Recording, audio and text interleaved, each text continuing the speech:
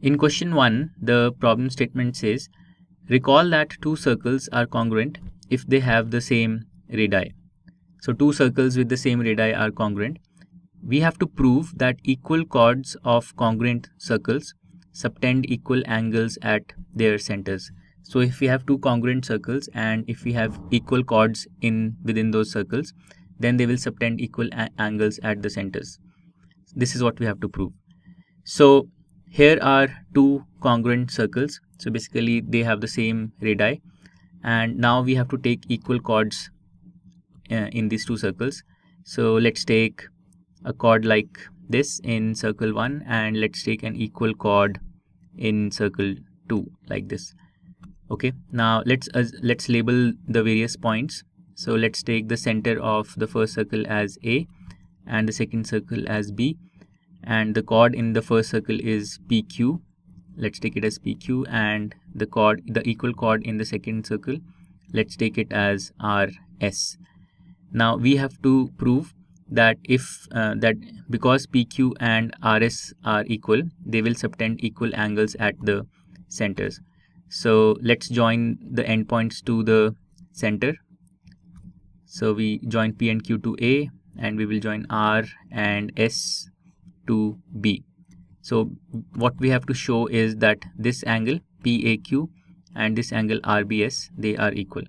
So the proof will basically rely on showing that the two triangles apq and brs these two triangles are congruent. And it's very easy to prove this.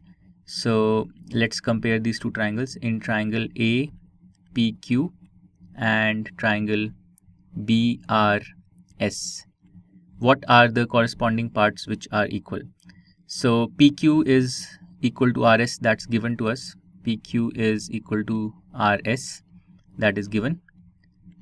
Also we have AP and BR they are equal because both of them are radii of the uh, congruent uh, circles and hence they must be equal.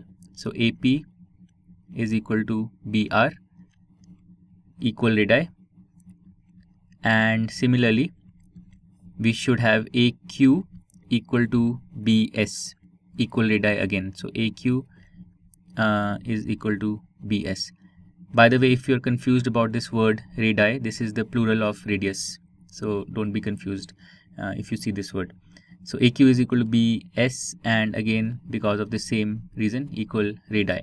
So in the two triangles all the pairs of sides are equal and hence we can apply the SSS congruence criterion.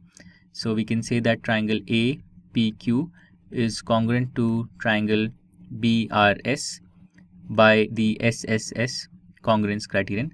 And this means that all the other corresponding parts are also equal. In particular this angle PAQ and this angle RBS they are equal. So angle PAQ is equal to angle RBS by CPCT corresponding parts of congruent triangles. And this basically proves that the chords subtend equal angles. So chords subtend equal angles at the at the respective centers. So this is the proof of question 1 to learn more about how Cuemath can help you crack school and board exams, explore Cuemath Leap, a live online classroom program run by highly experienced and committed teachers.